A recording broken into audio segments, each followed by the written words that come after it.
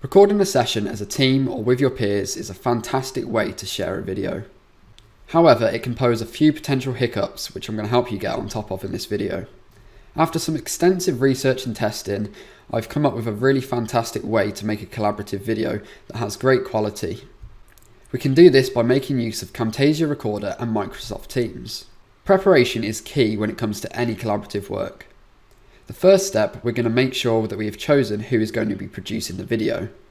This person is most likely to have the fastest computer as there's going to be a lot of intensive CPU applications running at the time of recording, such as the screen recording software and any applications that you're going to be working on collaboratively in your video. The producer is also most likely to be producing the final cut at the end of the session.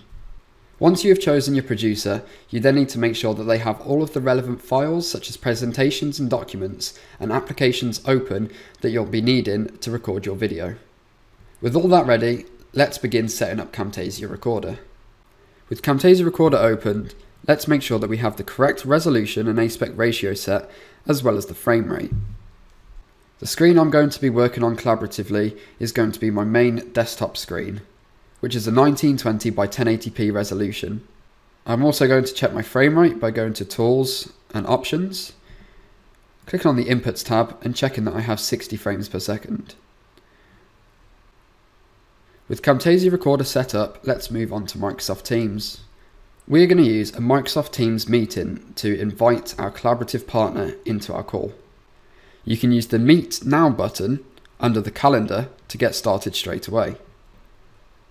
Here we can set our webcam and our audio settings. For this, we're going to use computer audio and our default webcam. Let's click join now. We can begin by adding our participants into our meeting. I'm going to invite Fraser Beadle into this meeting.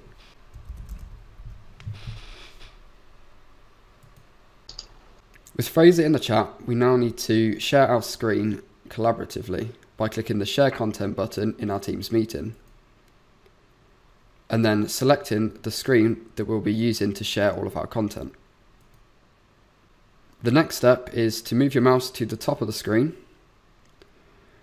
click the drop down where it says Give Control and select the person you would like to give control to. In this case, I'm going to choose Fraser Beadle. And here I am. Hello everyone. So here I now can share a presentation and everything I do with my mouse is going to be shared on the recording. So I could, for example, open a PowerPoint presentation and show you my great presentation. And then once I've finished that, I can go back to the screen and maybe open up a Power App and start demonstrating some Power App work. I highly recommend turning on the Include System Audio button which will allow Fraser to hear any audio sounds that come from my computer to make collaborative work easy.